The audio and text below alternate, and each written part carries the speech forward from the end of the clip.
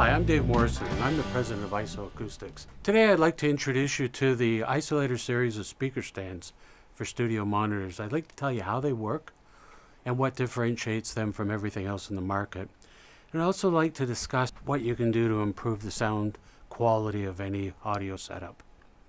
I worked for 20 years for the Canadian Broadcasting Corporation in the design and construction of radio and television studios. And I was always fascinated by how setting up the speaker had such a profound impact on the overall sound quality. And I'm always amazed at how often you find that situation or that setup is compromised, whether it be in a home studio, a commercial setting, or in a professional studio. Getting rid of that bass smear, getting that openness is the key to any setup. And the trick to getting there is using those PIF principles. And PIF is placement, isolation, and focus. Placement is the proximity of the speaker to the adjacent surface and the supporting surfaces. Isolation is getting that speakers up off the supporting surface and allowing the speakers to float independently. And focus is tilting the audio speakers or the studio monitors to create that nice equilateral triangle and getting the tweeters directed to the listener's ear level. This is the core to the isoacoustic design for the speaker stands. Very simple design that allows you to move the speakers, get them where you want, create that isolation and the focus. And a couple of years ago, two of the world's largest manufacturers of studio monitors were interested in licensing this product. And uh, we decided to do this on our own, and so uh, IsoAcoustics was born.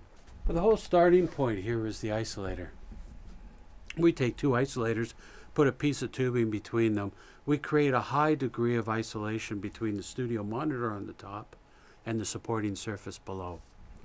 When we put the isolators in the frame and put a monitor on top, they become connected. And as the speaker moves forward and back, the monitor moves with it.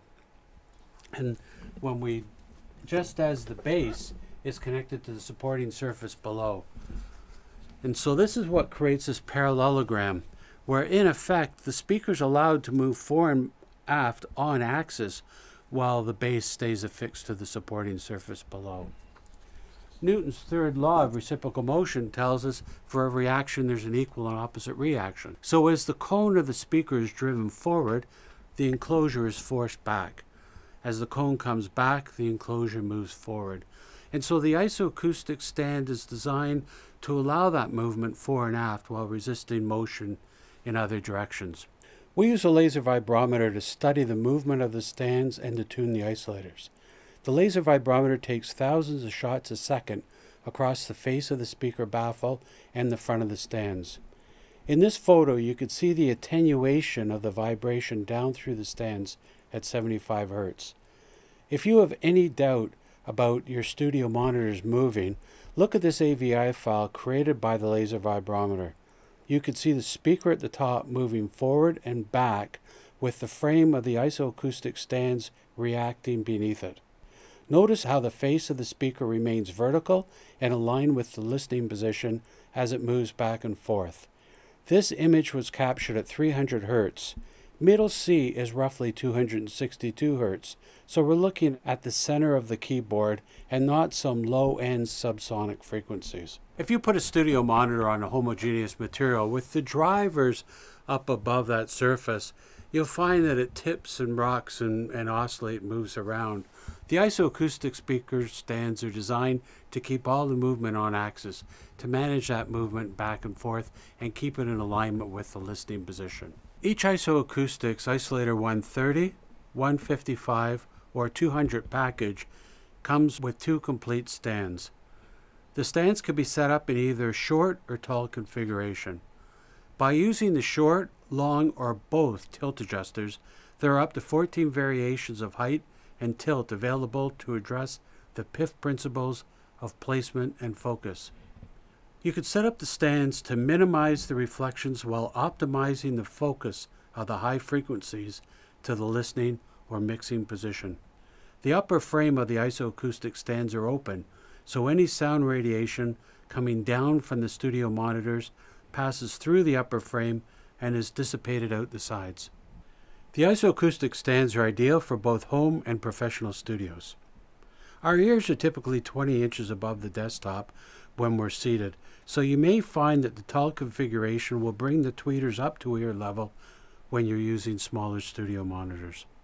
There's a common belief that isolation is required when the supporting surface is inferior and it may be excited by the movement of the studio monitor above it.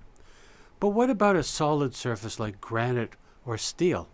That's not going to buzz and that's not going to rattle. But to me, to set a studio monitor on those hard surfaces is like driving your expensive sports car without air in the tires. Just imagine if we went into your backyard with some nice round boulders and we started throwing them into the deep end of your swimming pool. As the first boulder is thrown in, the ripples move to the outside and hit those hard edges, and they start to converge again towards the center, just as we're about to throw the second boulder in. Imagine if I can make your pool infinitely large so we didn't have those secondary reflections coming back in. That's what the isoacoustic stands are attempting to do. Like a football player catching a ball, he doesn't catch the ball out here. He catches the ball and he pulls it in to dissipate that energy. In our case, we dissipate the energy and we release it again to go back the other way. That's the basic principle of the isolator stands and keeping everything on axis. I'd like to share with you some letters we've received from producers and engineers. Doug Doctor is a senior recording engineer for the Canadian Broadcasting Corporation. Doug frequently records live performances with multiple microphones and strives to maintain a three dimensional soundstage in his recordings. The isoacoustic stands are getting rid of the bass smearing and opening up the entire audio spectrum so he can hear finer detail when he's mixing. Doug is very impressed with how the sound immediately got clearer. The stands allowed the speakers to reproduce a more accurate bottom end. There is more depth, which relates to better instrument placement and clarity. The bass smear is gone, and he hears clearer low frequency fundamentals, a stronger center image, and a larger sweet spot. Ed Marshall is a producer engineer who records live classical music. Again, creating a fused field with multiple microphones, Ed is creating a three dimensional sound field. Ed says it's like opening a window, as the phantom image no longer sounds like it's projected against a pane of glass between the monitors. It now has depth and recreates the placement of the instruments on the stage. The isoacoustic stands bring the popular Yamaha NS10s to life. They are being used in the House of Blues studios in Nashville, and the Grammy winning producer, Vance Powell, has found they make a difference. He said he noticed immediately a clarity in the stereo image and the frequency response he had been missing in his NS10s. We've created a choose chart to help you determine which isoacoustic stands is best for any studio monitors. We are making additions to this chart all the time, and if you do not find the studio monitors you're looking for on this chart, find another make and model that are similar in width, depth, and weight. We usually suggest choosing a stand that is completely covered by the studio monitor so it has a nice, clean, finished appearance. We will be updating the chart again to include the Isolator 430s for larger studio monitors and guitar amplifiers. The last thing I'd like to share with you is a sample of the AB demo we have on our website or that you can find on YouTube. You'll hear that the sound clarity is so profound that it can be easily picked up on video. This video was recorded at the Metalworks Studios in Toronto, which is one of Canada's leading recording studios. And you'll hear how the bass smear was cleared up and how there's much more openness in the mid-range. Sorry.